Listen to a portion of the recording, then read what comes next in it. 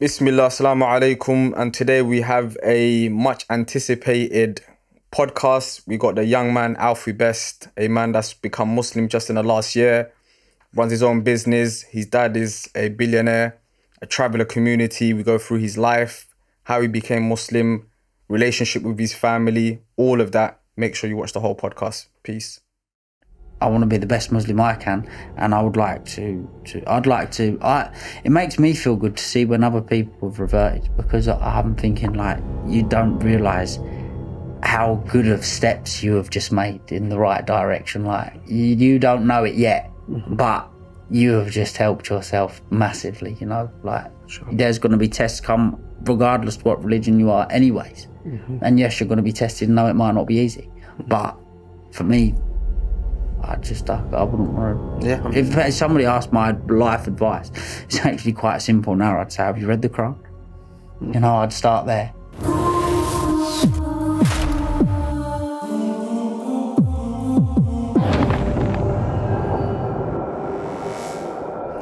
Assalamu alaikum. Walaikum salam. You're looking suave, akhi. Thank you very much. I do try. Uh, who, who shows you how to dress, or is it your own things? Do you know what? I surprised my own self. I dress myself. I have done for the last twenty odd year, I suppose. Very nice, mashallah. I'll start with that. Thank you very much. Moving on, akhi, you're Muslim. You're all over the place. Alhamdulillah. And I think, In what sense do you mean all over the place? In a good way or a bad way? Exactly. I was just about to say that as well, man. hey, positive, negative is all good, akhi. Don't worry, man. Positive, Positive, from my end. positive. Alhamdulillah. But um, from the angle of obviously you're Muslim, mashallah. So let's start from there and we can go into the other stuff, your business. We know your dad, mashallah. Many things are out there. So with your Islam, how has that started? Where did that come from? to be honest with you, I've I've said this story a load of times, but it's obviously not going to change. Of course. So I'm just in a different environment on a different podcast, but it's the same story, Of course. and I will explain it. So- So me and my friend Danny Dean, we went out for a day out on my dad's helicopter, and he had to come back because his mum was taking her shahada here at Lewisham Mosque. So I said to Danny on the way, I said, can I come in and see what it's all about? And I never had no intentions. I didn't know nothing about Islam before That day. that day or this, before I even walked into that mosque. So I come in with Danny's mum. I've, I've jumped a bit of the story. We went and picked Danny's mum up. So from the airport, picked Danny's mum up, then come straight to the mosque. So I've asked, can I come in? I said, like, will I be welcome in there? And Danny said, yeah, you will. Like, they, they, they will embrace you in there. And I thought, well, I will come in for a little look, come and watch uh, uh, Danny's mum take her shahada. Danny cried, you know, and that that is a point I haven't touched base on, which that that did mean something to me when You saw him crying. He's a bit of a role model to me. Of course. You know, and when you see someone get that emotional, it must mean something, you mm-hmm. know? And like I've said previously, I felt something in the mosque that I've never felt in any earthly place or anywhere at all. And that's when I looked to the Imam and said, Can I take a, a, a Quran? He gave me a Quran written out in English. Mm. I read it twice and then decided that it was the right thing to do. It all it all made a lot, a lot, a lot, a lot of sense. It only made sense. Reading the Quran. Yeah. Okay. I just want to take him a bit back, Alfie. So yeah, you know, you've said this story a number of times. Firstly, thank you for coming, taking the time and coming down to No the problem. To, to the to the podcast. May Allah reward you. You know, the when you walked into the masjid, because look, our mosque is not fancy. The mosque is not fancy. It's a simple mosque in a simple area. That first step, yeah, that you took into the mosque. People, some people are praying, some people are reading Quran. What did you feel in that first step in, inside the mosque? This is before going to the back and witnessing Danny's mom's taking Shahada. What did you think? What was your feeling at that stage? I've uh, never actually thought about that, to be honest, because when I actually felt something was when I was hearing you for Danny's mum for her to take the shahada. The words you was or the what she had to repeat. That's when I really felt something. For Word- me, the, the Arabic words, basically. just I was I was sat. My mind was as if I was talking to somebody. That's how it felt for uh, for me. yeah. So you know what? In terms of, I'm, I can't read minds. uh, You know, I'm not saying that, but you walked in, and I'm sensing from your looking at you, you're already thinking, because you seem like you're looking at things, but at the same time, your mind is somewhere else in reflection. Of course. That's when you've come into the mosque. Then, of course, the shahada takes place. Fine. The other thing was now we had a discussion with Danny's mum. Danny's mum took shahada. I don't think it was complicated, complicated words. It's a very simple kind of like, uh, how do you say, discussion we had. What resonated with you in that discussion? Was it the word Allah? Was it about God? Was it about Prophet Muhammad? Was it some something about the Quran? Or was it just Danny kind of like being emotional? Mum's taking shahada after me. What was going through your mind when that discussion was? Again, I was looking at you, and I can see again that same thing. He's reflecting. He's thinking. You weren't smiling, but you know, I could tell you're concentrating, hmm. which means you were thinking and reflecting. Can you? It's taking you a bit back now. Can you remember that that moment? Yeah, I can. It felt like I connected with something because it wasn't just mental. I, I physically felt something. Okay. That's what it was for me. And then there's a number of things after this, what I'm experiencing, which I've never experienced. okay. That's in churches, anywhere. You've been Anywhere, church before. anywhere, of course, Mm. of course. And no, no, no earthly place whatsoever. Yeah, because obviously people watching it are going to say, well, what is this feeling? It Was it serenity? Was it calm? What was it? Like, was it an emotion to cry? You know, like when you say that feeling, It didn't make me emotional. It made me think. And what I thought to myself when I had this feeling was, is this what I'm missing? Mm. Because there's loads of itches I've tried to scratch. mm, but it never brought about the, but the, never ever. And I thought maybe this is this is what I'm what I'm missing. Mm. But in that, what I'm trying to ask is, what was that feeling? Like, if someone, if you was to put a word to it, is it like I felt serenity? I felt contentment within myself. I felt calm in the place. Was, was there a word you would put to it? Well, I can only explain exactly what happened. Exactly what happened. I had goose pimples go from the back of my neck Mm. All the way down. right As you're hearing him speaking, exactly. Mm. And at the same time, as I'm feeling this, I'm thinking to myself, is this what I'm missing? mm, Is this the help that I need? okay, so the goosebump feeling basically. Absolutely. And like I've said before, I wasn't in a bad, I wasn't in a dark place. And that's why it feels so special to me. It wasn't like, oh, I'm in a dark place. I need You're to try and find a way out. Yeah, yeah. Uh, everything was going Good. very good. Mm, But there was just something missing, mm, mm. which was everything. Of course, that one thing that's You know? missing is everything. That's missing. Exactly. Indeed. If we just step back towards now before becoming a Muslim, Mm-hmm. what was your perception of Islam before? I didn't know a lot about it at all, to be honest. I had a lot of friends that was born Muslims, and we've I've had a very good connection with a lot of my friends that uh, was born Muslims. I never really, I don't like to make assumptions about things, to be honest. Um, but it's always intrigued me, but not enough for me to take the step forward to look into it. Were you, uh, you know, some non-Muslim, not all, some, they don't know about Islam. They haven't engaged with Muslim, but they hate Islam. Mm. You know, they call them Islamophobes. Were you at that stage at any given time? Never, never. I'm not with any religion, or, or, or I do not have a view on how somebody wants to live their life Okay, okay. or what they want to believe in. That's completely up to them. I've found Islam. Islam's right for me, and I believe it's right for everybody. But I wouldn't go ramming that down people's throats. They either do or they don't. Uh, The way I see it is, it's their loss, not mine. I found the right religion. Okay. Now, inshallah, I can't remember. I think Dom got married. Dom took, took Shahada at the mosque. You know Dom as well. And I can't remember when, but he got married at the mosque. His mm-hmm. nikah was at the masjid. Might have been a few weeks after Danny's mum taking Shahada. But I remember being out with Dom. Danny was there. And I think Danny was saying, Alfie's messaging me. We were out eating dinner. So he said, Alfie's messaging me and he wants to take his Shahada. He's reading the Quran and he's saying, I've stopped here, but you know what? I'm ready. So you took the Quran. What was going through your mind while you're reading? And I also remember one of your podcasts, uh, you, you said you came out of school, reading wasn't your thing, but when you got hold of the Quran, it was easy to read and everything made sense. What was going through your mind initially starting to read the Quran? The Quran's actually the first book that I've ever read from start to finish. The first, the, the only book, the first and the only book I've ever read. Now, during Ramadan, I used to read a couple of pages. Now I don't read it as much as when I was first taking my shahada, or, or before I was taking my shahada, because I wanted to educate myself and I wanted to know what it what it was about. And I actually read it twice. So I have read it twice, and I'm now I read pages uh, uh, and parts that I remember, and I try to read it as much as I can, which unfortunately now isn't often. But during Ramadan, Eid, I like to read it. It makes me feel good to read it. And answering your question, what was I thinking?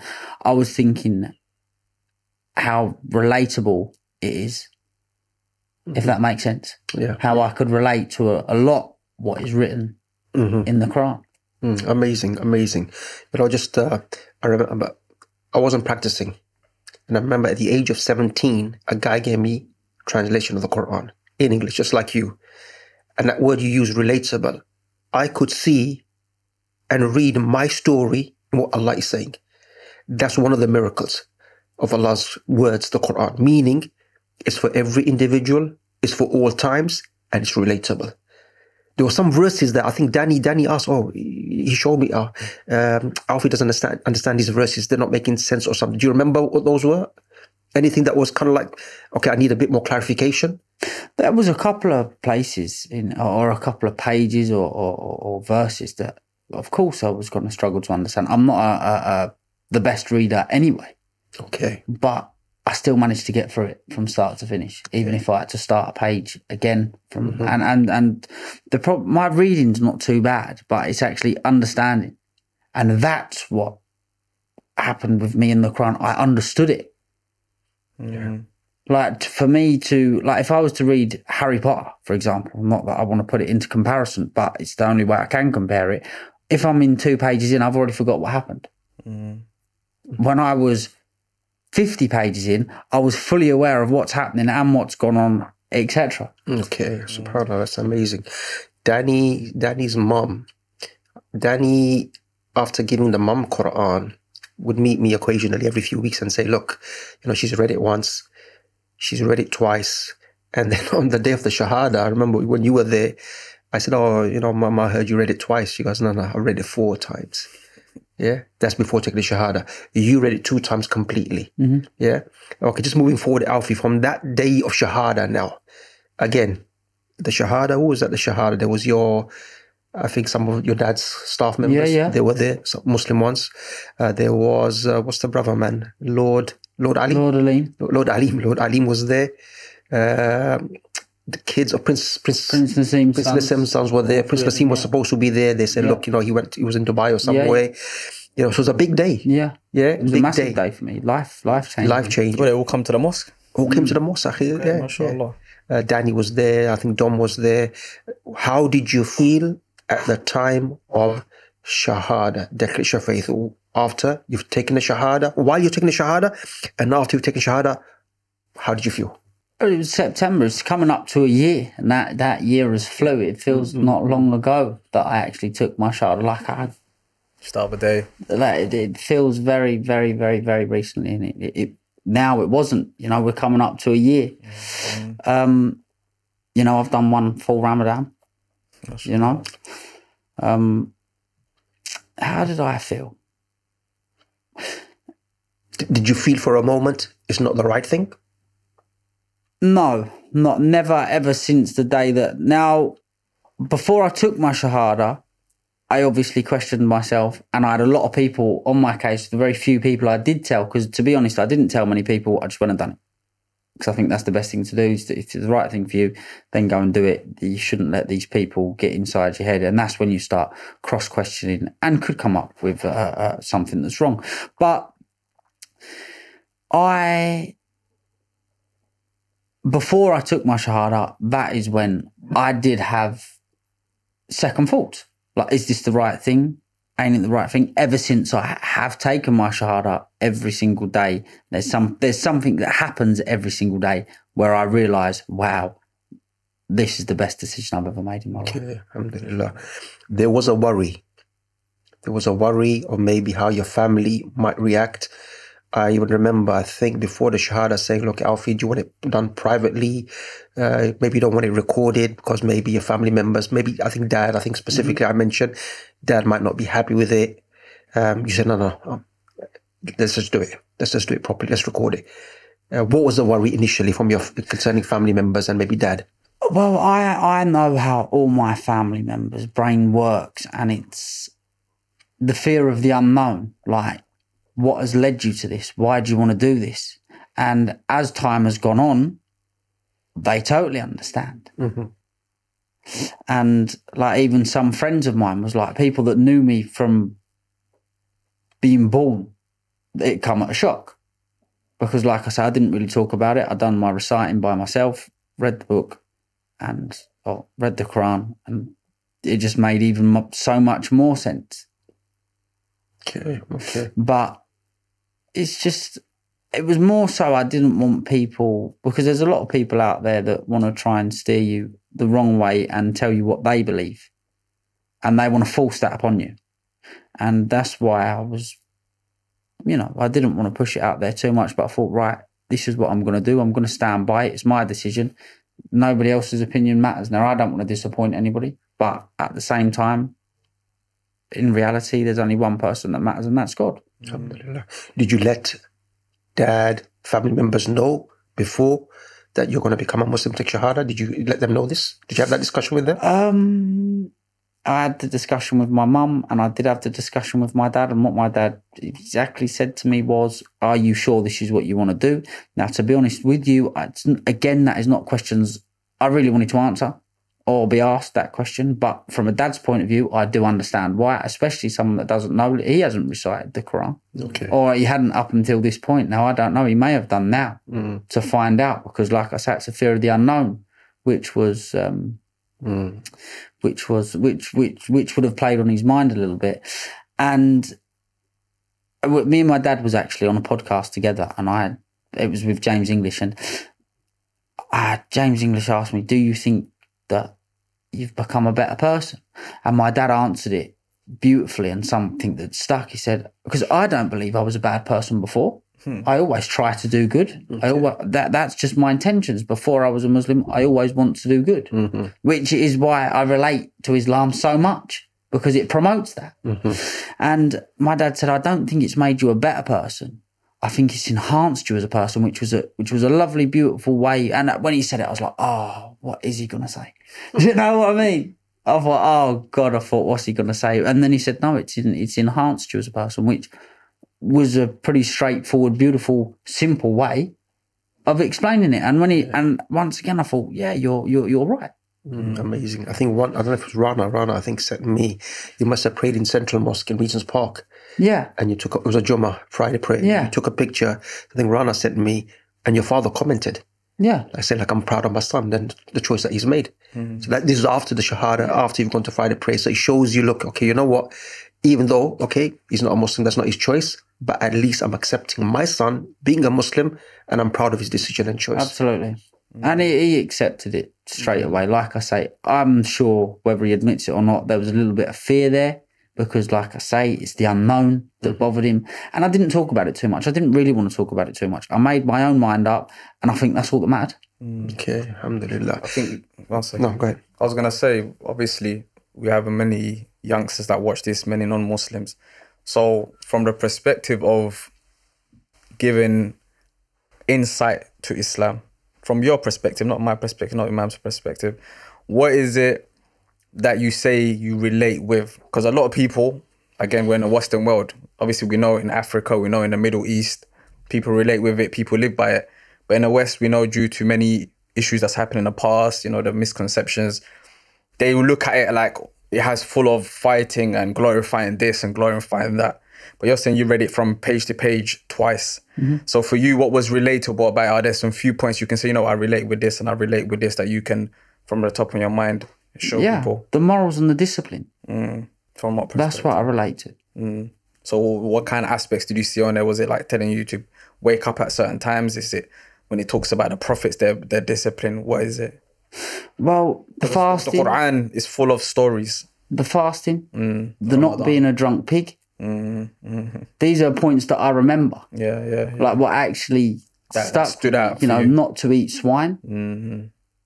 this is what That's the i well, well to, to be honest with you that that that there is not relatable to me to not to eat bacon i used to love eating pork. I will not lie. I Prior, haven't. prior to Islam. I will never. Yeah, prior, obviously Yeah, yeah. prior. I've never ate. Since then, Never. no. Funny thing, Alfie, one of the brothers took Shahada. So after about a year or two, he goes to me, listen, the big, you know, fitna, fitna means test. Mm. The biggest test for me is not eating bacon. that biggest test, I can't eat bacon. You found that difficult because he said, I really like the taste of bacon. Mm. So yeah, some people have different tests. Yeah, I've, I've, I've found it actually quite easy to be honest. But like I say, answering your questions, it's it's it's the discipline. and, and the respect and the discipline that it tries to guide you. Mm. Do you understand where I'm coming yeah, from? Yeah, yeah. Now I've come to a bit of a where you've asked me. I've come to a, like I've hit a little bit of a wall, but as the conversation goes on, I will be oh, as a matter of fact, I can touch base on that, or oh, as a matter of fact, Yeah, I can touch base on that. So from the background, you, you said you was Christian, right? Yes, So again, someone may ask, well, Christians also have morals. I don't. I've never read the Bible. You've never read the Bible. Never interested in one So bit. from a Christian perspective, is your family Christian? yes, Dad, everyone? yeah. Well, Or would they say they're Christian based but they're on not they're prac- raised they're- up to that? Yeah, exactly. Yeah. But they're not. They don't practice. read the never, book, they don't never do. I remember going to church. I went to church. I went there for a wedding. Mm, okay. So you, even though you're Christian based, you're not necessarily practicing Christians. You're not. You haven't read the book in and out like you've read the Quran, No. etc., etc. No, Okay, so you couldn't really make a comparison to say the morals in Christianity says this, Islam says this, etc., etc. I mean, there will be similarities Of course, there you know, is. between different kind of like religions, especially like Christianity, Judaism, Islam. At the same time, when you come with like morality now, mm-hmm. let's say it's the Church of England now, let's say it's Christianity as it is today. Mm. Where where is Christianity or the Church of England in terms of morality and following what Allah or God Almighty has legislated? Mm. You know, they're changing laws of the Bible. Mm-hmm. So you know, where does it stand for morality? It doesn't from our sense, to- we would argue they don't. Yeah, obviously, of course. I was um, for me it was more the perspective of if he did grow up in a Christian background. Yeah. was there comparisons? Because even in the Quran, Allah says when Hmm. you speak to the people of the the book, which is the Christians and the Jews, come to common terms first before debating what's the difference between you two. Come to common terms first. What do you agree on? You, br- you agree on one God. You agree on all the prophets. You agree on there's judgment day, that there's hellfire, that there's Jannah. Okay, now what do we do disagree on? You will find that we agree much more on things mm-hmm. than we disagree on a few minute things. Okay, you say Jesus is the Son of God. Well, we say to you, no, Jesus can't be the Son of God. Yeah, but even that, Alfie, just on that concept of God that he's mentioning. So compare other religions and Islam. Our concept of God, Allah, not a man, not a woman, no partners. You can't put an image to Allah. Allah's too great and magnificent. How did that resonate with you? Yeah, or did that play a part in your shahada? Look, uh, I've spoken to Danny. I've spoken to some of my mates. They're telling me about God, and you know what? This resonates with me. It's funny you should. It's funny you should say that because actually, even being brought up a Christian, like I said, I've never practiced ever, but I always believed that there is one God, and how it is in Islam. It was like I subconsciously believed that. Okay. Do you, under, do you understand where I'm coming from? Yeah, yeah, yeah. Well, it makes sense. Like exactly, there is one God. There is. It's very simple. It's very simple. There's, it doesn't complicate it. And There's one God. There's a creator. You're the and I know this is going to sound mad, but it kind of feels like I've been a Muslim my whole life, but I just didn't know it. yeah, yeah. Do you understand where I'm That's coming not from? mad. That's yeah. That's normal, akhi. Because, because that's um, why we call reversion. We don't say conversion. We say reversion to revert back to what was your essence. Yeah, You understand? We were all born to believe. Like even my kids, if you ask a little three year old, four year old, like, where is God? Is there a God? Is there something that's created you? They they, they inherently is there. Do you know what I'm trying to say to you? Yeah. They're not gonna say God is there. Like if you say where's God, no one's gonna say on on the ground. They're gonna say it's above, in the sky, somewhere high. It's inherently within us to be good people, God conscious people. You see people like I was listening to today, um, Russell Brand. Now, if you know the guy's history, you know he comes with a lot of baggage. But then as the years have gone on, he's, he's gone married this person, he slept with how many people, he's taken how many drugs, he was a drug addict, all of that stuff to come to the conclusion. And he, yeah, what, what- he made a very beautiful statement. He said, he said, when I was taking drugs and all of these things, I'm, I was looking for the same things I'm looking for now in spirituality. I was looking for serenity, peace, to get away from all of this, you know, headaches or stresses of life. But what I was doing is I was killing the vehicle that was in it, which was what? The body. You're killing the vehicle to get the serenity. When people take drugs and weed and whatever it is, they're trying to leave whatever atmosphere they're in to reach a different atmosphere that's nice and pleasant and all of that. But you was doing it by killing your soul. Whereas in Islam, in spirituality, we're doing the same thing, but we're not harming our body. We're enhancing the body. When we're fasting, we're doing something that enhances the body first. It kills off bad cells. You understand? It makes you conscious of the creator. It makes you appreciate that for those who fasted for hours, you know, you ate for so many hours when you eat food, you appreciate the food. You take your time on that food. You understand me? When you pray salah and you wake up certain times when the birds are chirping and you're praying, listening to the birds chirping, that's serenity. Do you know what I'm trying to say to you? So when he made that statement, is it resonated with me in the fact that many people are seeking the same things that we're seeking. They're just going about it in a way that at the same time damages them. Whereas in Islam specifically, we're doing it in a way that only enhances you, not damages you. That makes sense. So yeah, and moving from that anyway, so you're Muslim now, mashallah. You've told your dad, you've told everyone you're Muslim. How has the non-Muslims and everyone else reacted? Obviously, you got a good following on Instagram. What was the rapport like from people? The reception I got from the Muslim brothers, I'm sure you can well imagine, was beautiful, beyond belief. Couldn't mm. put it into words.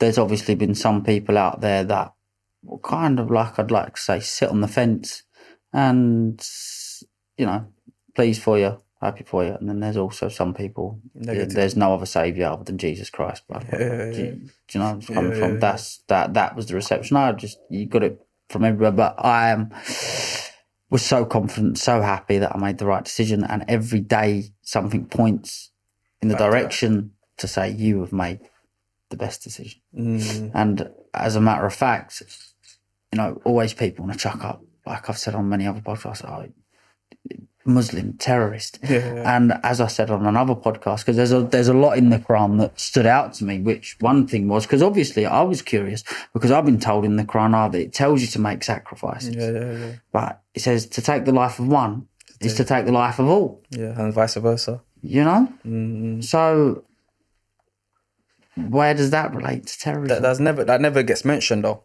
You know that verse never gets mentioned by the by the so called. Uh, Islamophobes that understand the Quran, but they can't read that one verse. And no. any verse they take is always out of context. So they might take a verse and say, okay, kill them wherever you find them. Okay, but what's the verse before that, bro?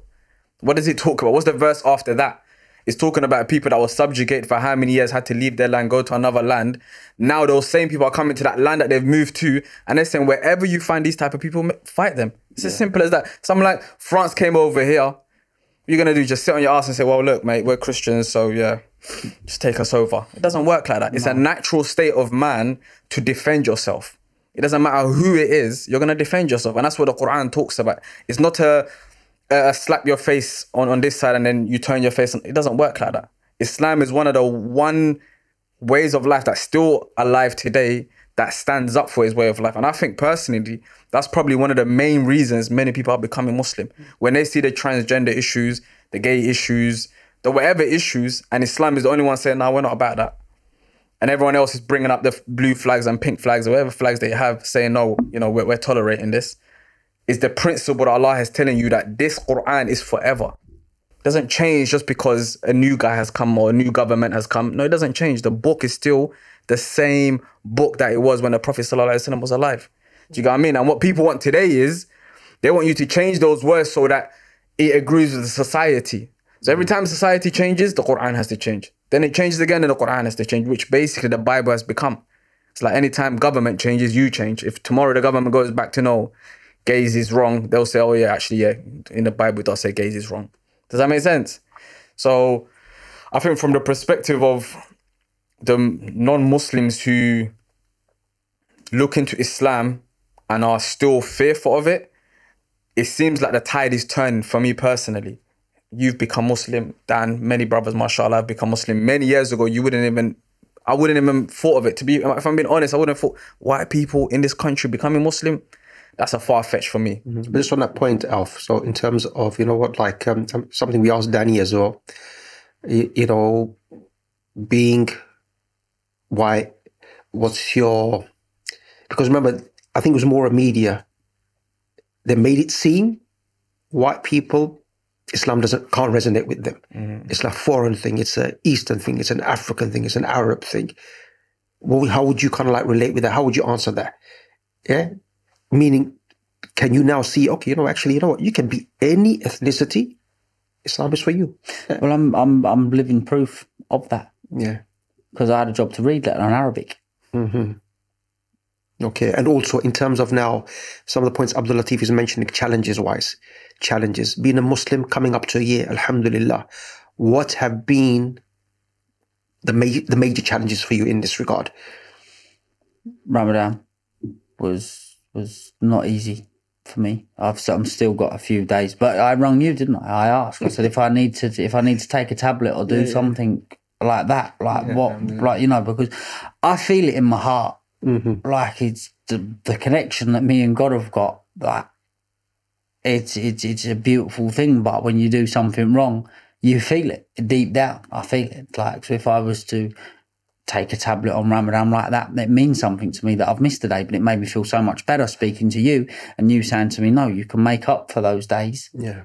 just before the next Ramadan, which I will make sure I do. Um, but like I say, I'm, I'm living evidence that you can be any color or any race that you want. Like, it makes sense. And if it's relatable for me, I'd say it's relatable and the right way for everybody. Now, I wouldn't go around on the streets trying to ram that down people's throats, but I will, if I was asked my opinion and my advice, then I would give it. Mm, mashallah. It reminds me, you know, like there was a brother taking Shahada here named Jack, and Ollie was there. Ollie, Dan's, Dan's kind of like a colleague.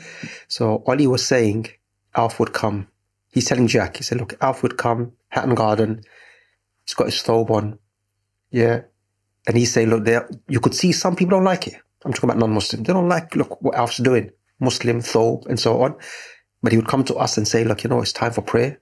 Let's go and pray you know so there will be those who dislike but my point you know in, in a kind of like a you know praising you that having that confidence having that you know like sense of look pride i am a muslim i don't feel ashamed to kind of like let the world know this is my faith yeah and why would that be as well why why so much confidence in this because when I, once I took my shahada, I appreciated everything a lot more.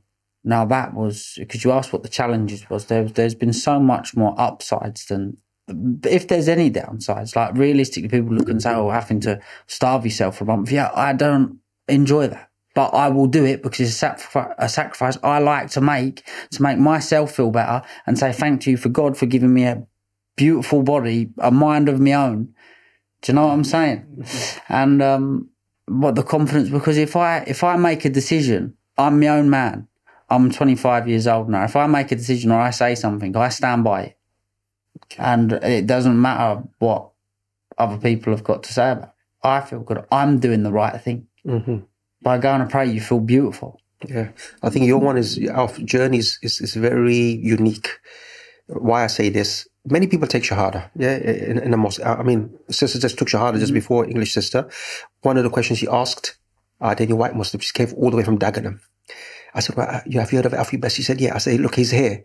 And let me bring him in to kind of like just speak to you. When I came out, you had gone, but then Danny came in. So she said, she spoke to Danny for a while. But you know what? Some, some individuals, they're coming because they're struggling. Hmm. They're struggling. This life's a struggle, this test.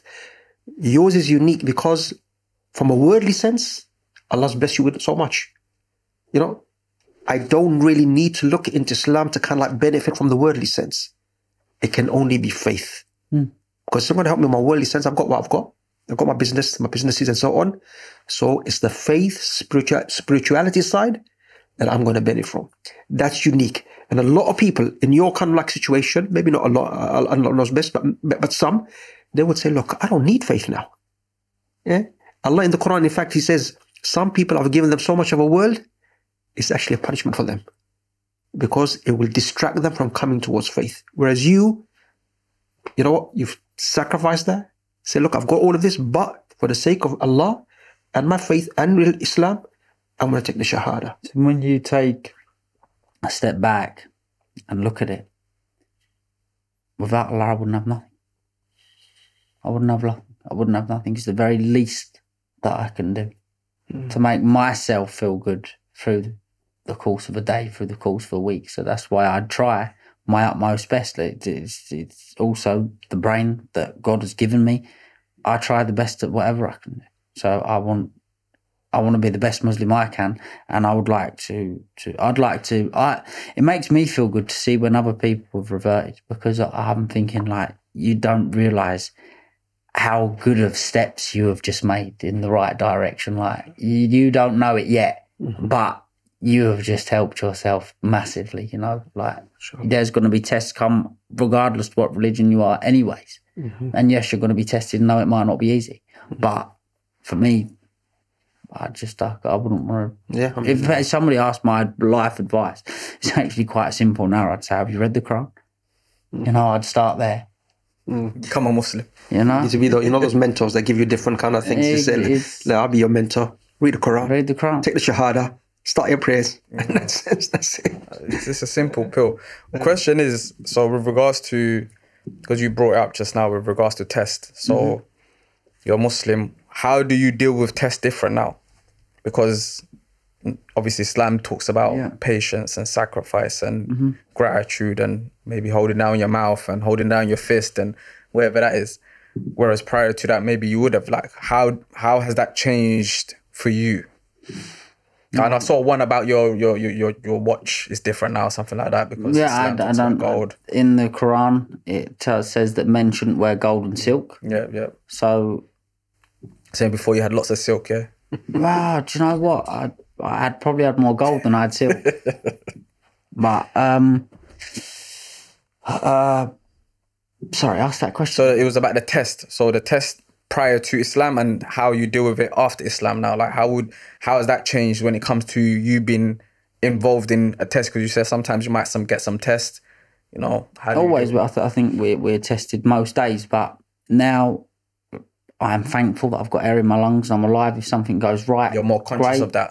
But it's, it's being thankful to be alive, and when you take it for granted and being thankful of it are two completely different things. When you take a step back, like if you had a near death experience, mm. you're like, wow, I'm just thankful to be alive. Mm. Like when Ramadan, you're just so grateful to eat. But it's the same when you have a test put in front of you. Mm, if it goes well, great. You take a step back and go, I'm alive. Yeah, MashaAllah, I'm alive. yeah, yeah. So it gives you a lot more consciousness, basically. You would say Exactly. you're more conscious of it. Whereas before it might be it's a test, I pass it or not pass. it. You don't even think about it as a test. You just think of it as Well, a hurdle to or be honest, you, you, I'd probably be disappointed and upset with myself. Yeah, But I didn't do what I was supposed to do. Mm. Now I'm, I'm alive. correct. Worked out what exactly. Mm. Thankful for what you've got. I'm eating. I'm living. I'm breathing. Mm. There's air in my lungs. My family's all good. Mm, these are three things. He Exactly. doesn't need money. Exactly. One thing else. So, you know, a lot of people take Shahada, and sometimes people say to them, look, you know what? You've taken your Shahada, but the Muslim community, they were happy when you took Shahada, but they didn't give you the support that you needed. So, question for you in terms of since that September, Shahada, of course, you got mates that are close, Danny and others. Have you found the support from them and others from the Muslim community concerning your faith? Anything you need in the faith, any assistance, any help, any guidance? You want to go to Mecca or Medina? They've assisted you or they will assist you. How did you find that? Um, well, as a community of people, and I've been around a lot of communities, I've never felt so welcomed and so loved by some people that I've never even met. That's the only way I can explain that. Yeah, just sincere kindness. Exactly, exactly. Wanting to help you just because they want to help you, not because there's any gain, not because there's a pot of gold at the end of the rainbow. They're looking to help Yeah, because their intentions are good. yeah, And I've never been around. I've been around people that are like that, Yeah. but I've never been around a community of people that are all like that. Mm, you haven't had some Muslims saying, Akhi, you know, I heard you become Muslim, so you're saying, run me some change, Akhi. Not yet. not yet. You have to give some sadaqah to us. No, not yet. But one thing, you know, there's a hadith, isn't it? No. Uh, uh, Prophet Muhammad said, peace be upon him, there'll be seven types of people that will be under the shade of Allah's throne on the day of judgment, when there'll be no shade except the shade that Allah provides. And uh, one of those types that Prophet Muhammad mentioned, two individuals who only love one another, one another for the sake of Allah. They don't want anything back. Yeah, I'm loving you because you're a Muslim. You're loving me because you're a Muslim. I don't need no gain, and you don't need anything from me. Mm. And Alhamdulillah, you know, sometimes we we do see the negative, you know, mm. because we're part of the Muslim community. So there will be those elements. The vast majority, like you mentioned, Alfie, they're just like happy. This brother's a Muslim, and they pray for you. You know, so many people messaged me when you've taken Shahada, and all they're doing is praying for you. May Allah bless him. May Allah reward him. May Allah keep him happy. May Allah keep him steadfast mm. for you and your family. You know, family, sometimes through you, they get into du'as of people. Yeah, because they're saying, oh, Alfie's become a Muslim. May Allah bless his family. May Allah bless his mom. May Allah bless his dad. Just because, you know, so in fact, they're getting blessings and benefit just by, you know, you coming to the deeds. Uh, that's a positive, alhamdulillah. Cool. So another aspect, obviously, you being Muslim now, what you're obviously very well known for is being a business person. Run us through your businesses. Like, what is it that you do as a business? Oh, I buy and sell tickets for events. I've done that more or less all my life. Okay. I buy and sell watches, and I've just got uh, I've got two mobile home parks. Okay, mashallah, you started that as well, yeah. Not well, it's my dad's industry, but it's a it's a it's a long story. Um, You're gonna be competing with him. uh, I don't like to compete. I listen. I want to see him go as uh, uh, it's healthy competition. What kind of questions that's what it's are you asking me? Trying to cause a rift between Uh, men's no, dad? rift- It's a healthy Business, I- healthy competition. You Um, wanna compete with your dad? Well, what's it's done your purposes? It's not like you're going to Jannah for it. um, but that I had a I got a couple of mobile home sites when I was sixteen or seventeen, and because I had I had a nightclub. I've got the where business is concerned. Um, I've Good. probably gone from start to finish. There's probably not a lot I haven't done. I've worked since I've been in school. Okay. And was that also pushed by your dad to just go? No, I've never really listened. Looking at my dad, my dad's been a very, a bit, very, very big role model in my life to, to, especially to look up to, and especially where he's so successful. Of course. Like, because somebody as successful as him, you know, whether they're right or whether they're wrong, I would always look at him like he's right because look what you've achieved. Yeah. Um, But did he guide you saying, look, son, don't go school, don't go college, start your own business? Or was it?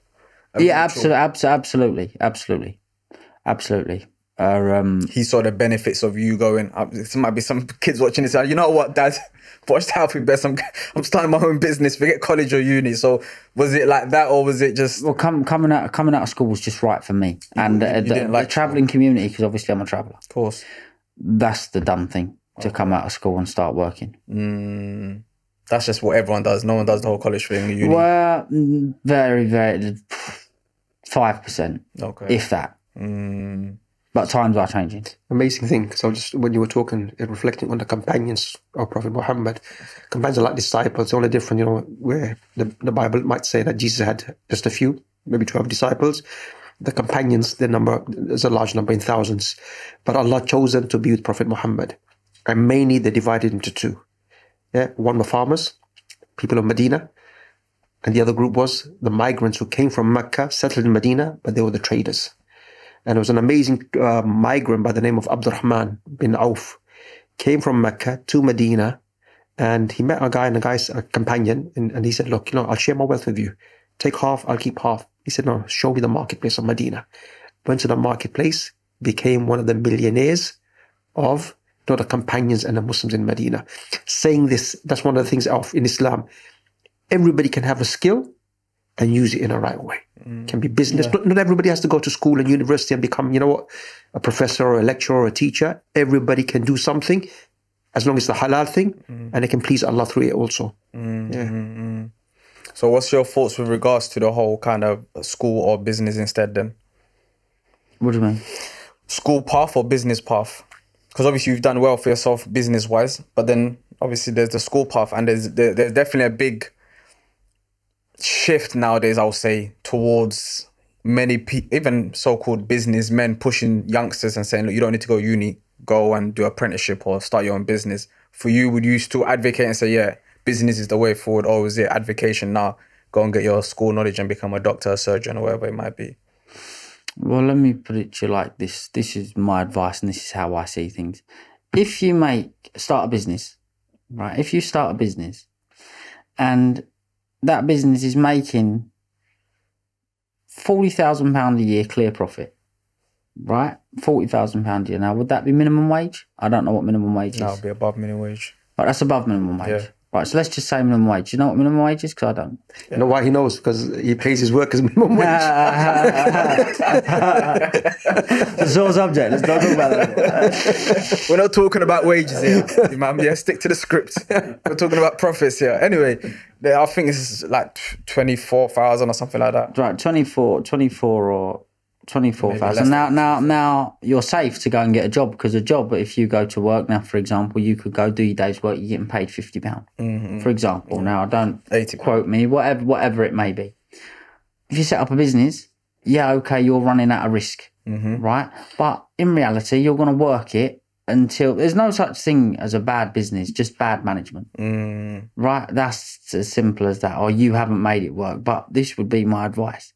If you've got a business making minimum wage, so let's say £35,000 a year, argument's sake, minimum wage, clear profit. Not only have you earned £35,000 clear, you have now got a little bit of time for yourself when you want to go to work. mm, So the benefits come with the time you're going to save, not the money you're going to earn. mm, Now that's the way I see it. mm. No, I hear that. comes with a little bit a little bit of freedom now some people would rather just 100% go to school go through the the hamster wheel i mm. call it come out get a job pay mm. wages. Now I, I, I don't believe that's the right way. That wouldn't be right for me. Yeah, yeah. Keep in mind, Abdullah, everybody's different. Mm. Remember, you need doctors, though. Of course. You need nurses. Yeah. You need teachers. yeah, there's some things you need You uni for. You need carpenters. You need everybody's. You don't go uni for carpentry. So Not you can just you, come doesn't have to be uni, but minimum wage, though. Yeah, Minimum let them know. wage. That's the, let them know. the starting point is minimum wage, lads. You only get rich for minimum wage. so that's how it works. Better off working for Alfie, man. His minimum wage is 40 grand. He's like, minimum wage is about 40 grand, right? I'm like, yeah, it is actually. Pay me 40 racks. but yeah, and I, I hear you. And you know what? My perspective is similar because I come from the angle of historically, just like Imam gave the story of Abdurrahman bin Auf. This is how he was, this is how human beings have made money in the past. There was no such thing as go to uni and it wasn't like that. It was family worked within families. And that's all it was. Family will work with families, whether it's farming, whether it's business, whether it's trading, and they will increase within that profit within themselves and grow. This whole idea of a university, getting a degree, and then working for another company that another human being owns, for me is is is, is crazy because Uh, same same principle. It's not- how? Look, look, look, when they, when they're working for you, and, and you're teaching them. Who? When somebody works for Alfie, Yeah. of course, Alfie's going to kind of educate them in a way of doing business. It's just a smaller scale. Add that now, it's a school. So instead of 40 people, you're going to have 400 people. Mm. Yeah. Make it a bigger scale. You want to advance in certain sciences or certain things, go to university, you're going to have a few thousand people. Mm. It's the same principle. And so in those early days, the need was the family educate how to do a business, how to do farming. Mm. But I don't think it's against going to school or stuff. It's not against no, the the, principles. the, the, the point I'm making is this this this this group narrative. The family cares for you. yeah. When I'm within a family, my dad cares for me, my uncle cares for me, my mom cares for me. The government system we have don't care for you. So they, they, they- they're making you go to school, then you go to college, then you go to uni. You find out most people that go to uni still do McDonald's or Morrison's. So the ends doesn't justify the means to get there is my point. Whereas as a business owner from a very young age, I'm not, and again, I'm not advocating every person becomes a business owner. Of course, you do need a surgeon. There's certain skills that a whole society needs a surgeon and I don't know, a pilot or whatever it might be. Mr. Pilot over there. Yeah. Certain things you, you need to go uni for because if we didn't, we couldn't fly around the world. If you had a issue in your body, you can't go to a doctor. You need certain things you don't need to go uni to become an artist, mm. to draw. Do you know what I'm trying to say to you? Just start a business, learn under someone, and then that's how the apprenticeship scheme used to work in back in the day. You mm. learn under someone and slowly you get paid. You know what I'm trying to say? When you said a point about um, working for someone else and the business is the risk, I see the same actually. Having your own business and that risk, because remember, I have to pay people, right? I pay people before I think of even paying myself. That's how my one is run. Whereas sure about Mum's- that, yeah? Mum's smiling. Sure about that, yeah? Ah, yes, sir. but as a business, ano- another guy you're working for now, which is say someone like me, he's taking the same risks. So you're still hoping. It's, it's like we've put this human being as in some godly. Like I'm, if I work my five to five, five days a week, I'm gonna get paid regardless. That's how you're thinking as a worker. Regardless of what happens, I'm gonna get paid. But as a business owner, it's the same. It's the same effort I have to put in every single day to get money. I don't know where my money's coming from. Then I have to pay my workers. But if tomorrow money doesn't come, I have to sack my workers. It's just that this person, so the point you made with it's not the bad business, it's the bad business management. That's all it is. So this youngster who's afraid to start his own business, it's just because you're scared to lose, you're scared to manage your business, you don't know how to run it. But had you overcome all of that, you'd be as successful as any Tom, Dick, and Harry out there. Mm. There's nothing that makes you any different from the Tom Fords or the the the the, the, billionaires of today. Nothing. It's just he took a risk.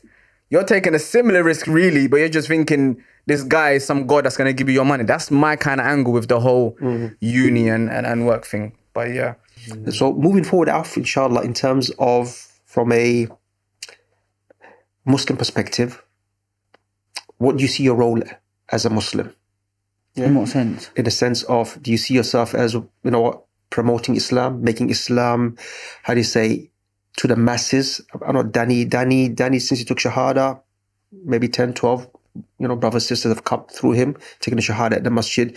Do you see yourself as, look, you know what, I need to make people understand Islam? We might call it dawah. Dawah means you're promoting Islam.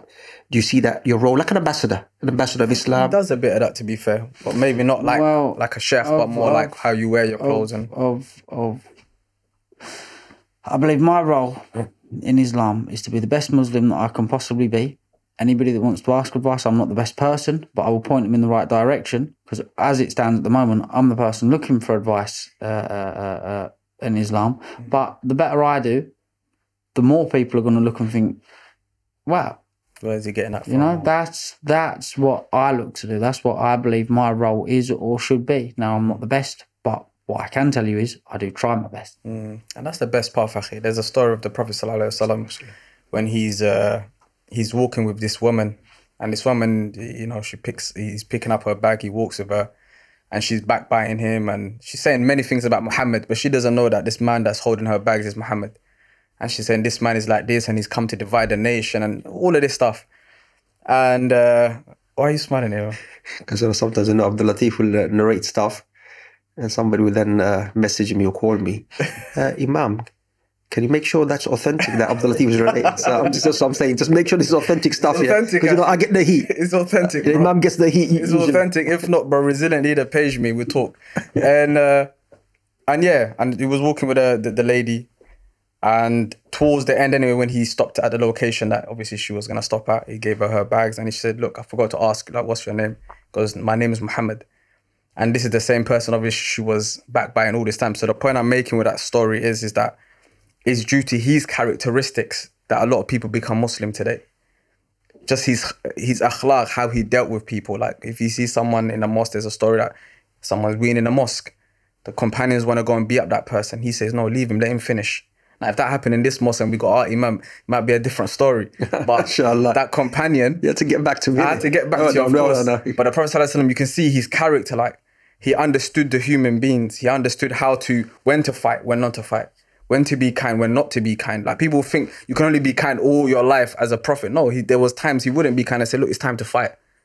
When there was wars, there will be times that he's at the front all the way. People are chasing him down, and he's leading the whole thing. And there'll be times he's behind and telling people where to go. So I think from the perspective of that, that's probably the best way in life is that through your characteristics, rather than I'm telling you what to do or what not to do, just I show you by my characteristics. I'm kind, I'm nice, I fight when I need to fight, but I'm humble when I need to be humble. Through that, people say, you know what, what's this guy's path like? Oh, he's a Muslim. Ah, let me, let me look into Islam. And that sometimes is sufficient. You don't even need to just proclaim and stand in the pulpit and do any of that stuff. You just What are you smiling for? Ah, what? I'm just smiling, actually. Do you get what I mean?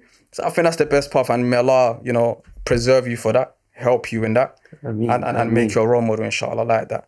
Moving forward, as we spoke about your father, we didn't get much into your father, so I'm guessing your father is a very important person in your life. Of course. You've spoken uh, and kindly about him. How is his relationship with you in a sense of father figure? And I'm bringing it up for again the youth of today. Father father figure is a very big issue today. The fact that you had a mother and a father in your household. How did that help you? And maybe even from another perspective, how would life be without your father? Have you ever thought about that? Of course I have. I don't like to think about it, but of course I have. I'd imagine that it would be. I'd miss him an awful lot. Of course I would. Um, but it's a, it's a hard question for me to answer. Because I don't want to take myself to that place. Of course, Do you course, understand where I'm course, from? But there's a lot of people that's been raised without fathers. Mm-hmm. And so I bring up this topic from the perspective of the benefit of having a father in your house. Yeah, it's a, it's, it's been a massive bet. My dad, in general, to anybody, whether he may be your dad, just a friend, or somebody you watch on YouTube, he's a massive benefit. Very intelligent. Mm. Uh, been around the block, you could say. Uh, and my relationship with him is Are you, are you the oldest of your oldest son? no, I'm, uh, I'm I'm the youngest actually. The youngest? There's only two of us. Okay, only two. Uh, I've got a sister. Okay.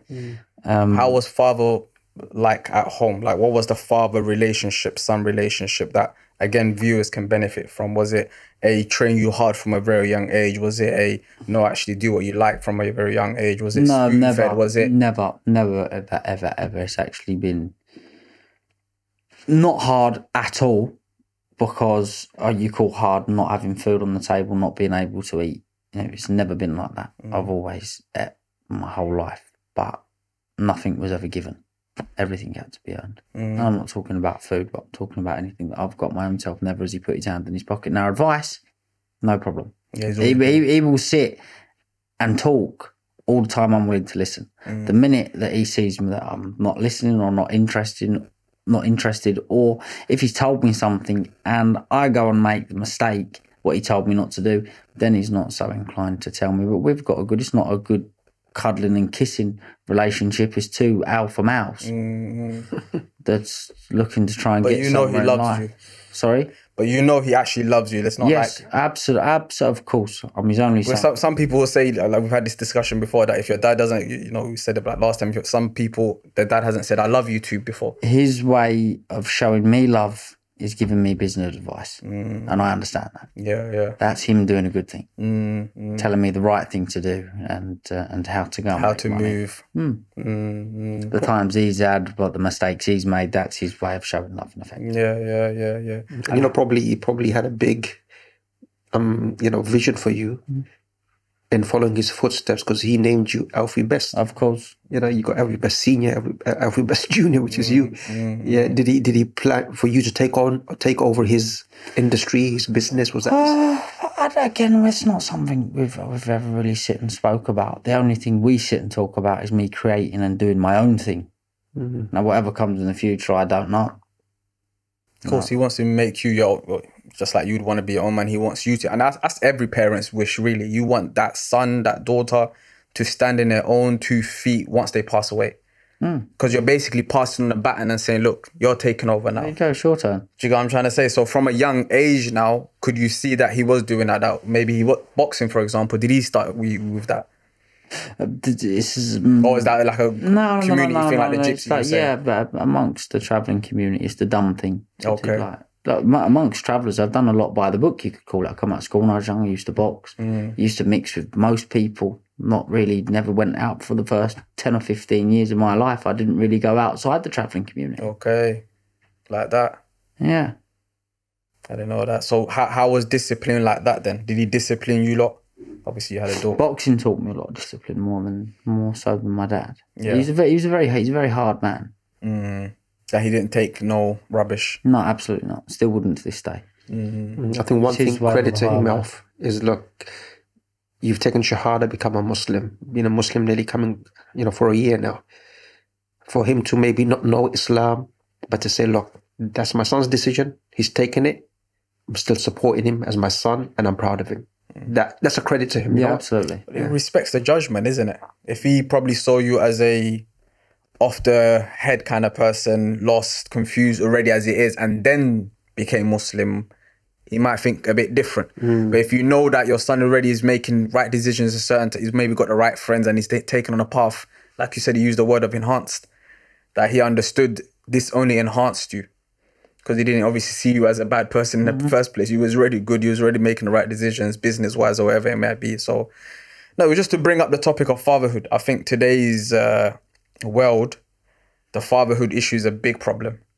Hence why we have, you know, fatherless uh, families. You've got mums just raising one child by themselves. Then that child, because there's no discipline, ends up in the streets or roads. Once, once again, sorry to interrupt you, but you've just brought me back to a point which I would like to touch base on. When you said well, something you relate on Mm. in the Quran, well, that's another thing where it tells you to have, not have sex before marriage. Well, that's a perfect look how many more children would be in a position if everybody lived by that. Mm. Now, see, I said when you like, there's things that will just ping into my head, and I thought that at the time. Like, 'cause you think, why would you want to not have sex before marriage? Mm, You know, to be honest, everybody would think, what a nightmare that is, Yeah. wouldn't you? Do you know what I mean? That in reality, you would, but when you break it down and look at the and look at and the issues that the come from it. reasons and exactly the problems that will come with it, everybody just going to have sex with everybody. Sounds great, Yeah, yeah, it does sound great. but come back nine months later. Mm, there's no you understand where I'm coming responsibility. There's no responsibility. 100%. Even on that topic itself, I think when the whole liberal mindset came, obviously the, the pill, that solved their problem, which is you can have sex, you just take a pill. But then the man also thinks that it's okay to do that now. And so now you have a society where the man and the woman literally think they're the same. The woman doesn't think she can get pregnant because she can take one pill and she has no baby. So she can act how the man probably used to act without no. Because remember, there's many men that wasn't spiritual many years back, mm. especially within the Western world, that feel like they can sleep with whoever they want to sleep with, and there's no repercussions. But now the woman has been given the same tool basically. You can take this pill, and with this pill, you won't get pregnant. And then you have this mindset now of masculinity, femininity. Cool. But, but traveling community, they, they have kind of like certain standards and morals, They're more traditional people. which are they? very kind of like close to Islam. Uh, exactly. They're and that's it. And, and and if you were to say that, look, the, the man's a breadwinner, the man kind of like supports the family, the woman look after the home. I think that's Islam. I always have this debate. I mean, sometimes we have that discussion. It doesn't have to be this or that. Solution is Islam.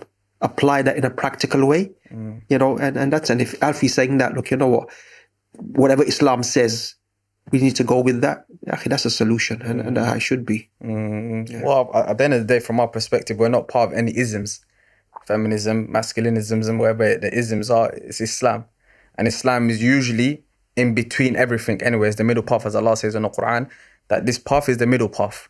It's not extreme on this side, nor is it extreme on another side. It's not too fluffy, nor is it too, you know, strenuous or strong, or you know what I mean. You, always try to take the middle path. But Khair, I think we've gone to the hour kind of conversation. Final kind of uh, notes. You are where you are today. You know, you've become a man, you've become an inshallah, you become a better person as you keep growing. But there's many youth obviously watching this, looking at your name, Alfie Best, Rich, you know, Muslim. How would you advise those youngsters looking up to you and saying, you know what, they want to become like you or your type of, you know, ilk? Follow your deen. Mm. Because that's what took me to my next step. Mm. That's what pushed me further. And that's what made, I'd like to say made, life's not easy, it's far from easy, but it made it easier. Easier. It's as easy as you believe that it is. And, you mm. know, it settled my mind beautifully. You know, so I'd start there. Start with your deen first. Yeah. Mm, because you obviously didn't have that. You had obviously a father figure, whatever. But since you've become Muslim, you're saying that has propelled you. Absolutely. A bit more. It's just made everything feel so. Make every. It's a feeling, and it's made everything feel so much easier. Mm. Made me want to do more.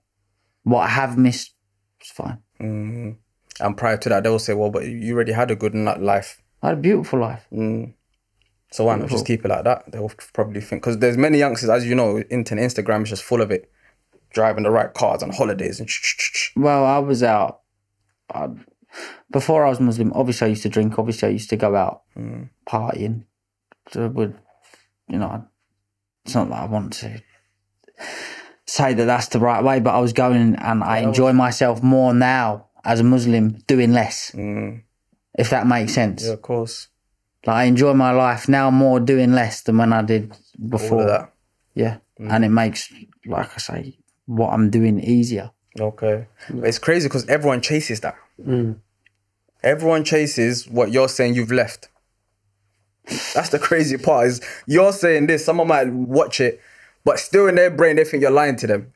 They think you're trying to, you know, hold the gate and say, nah, you know, it's not fun there, but it is, it is really fun there. Does that make sense? I've had some. I've had some fun. But what I'm telling you is, I enjoy myself more by mm. doing less. Mm. Like there's, you know, I appreciate going for a nice meal, opening a fast at Ramadan. Mm. Oh my god, looking, waiting for the clock to count down to get a mouthful of water in your mouth. That's enjoyment. The simple thing. Do you know what I'm saying? Mm. Like a glass of water, you are literally looking at the clock like that. Oh my god, waiting. Do you know what? There was days I even had water like I'm looking at it like this. you know what I'm saying? Looking at it, Just waiting. ready to like. Honestly, I was ready to pounce on it. You know, You know what I mean? you know that last minute seems like an hour, isn't it? oh god! You're just waiting for that last If there was a clock in the room, you'd be counting. I'm telling you. I'm saying that Alf in terms of. I mean, one thing is they haven't experienced. They're seeking that, but they haven't experienced that's what, my point. what, what Alfie's That's got in terms point. of Islam. Yeah, exactly. But Alf, you know, Allah's blessed you with wealth. Do you see a contradiction in being a good Muslim and let's say being wealthy? And that's again for the viewers. Can you be a wealth, wealthy, rich person and be a good Muslim? Yeah, more for the. What do you think? From Absolutely. As a matter of fact, I think it's easier if you've got wealth to be a good person. It's easy. It's easy to have morals when you've got money in your pocket and food on the table. Now, I say that straight as it is because you've got everything. Think about when you've got to go and feed a family. That's when you start questioning and thinking about your morals. Do you understand where I'm coming from? Yeah, yeah, deep. In fact, scholars had a discussion who's a better Muslim, a rich Muslim or a poor Muslim? And they said the rich Muslim, yeah, we're talking about uh, financial wealth, who is grateful to Allah, uses his or her wealth in the right way, is better than a poor one. Because now, if Allah's given you more, you can actually do more in terms of good deeds and charity and so on. So, yeah, no, no, alhamdulillah, man. Alhamdulillah. I think that's a good note to finish on. Jazakumullah khair for for for for um, giving us your time. You know, like we said before, Allah bless your wealth. You know, inshallah, do well with it. And uh, yeah, barakallahu feek. And to everyone else watching, we'll catch you on the next one. Wassalamu alaikum wa rahmatullahi wa barakatuh.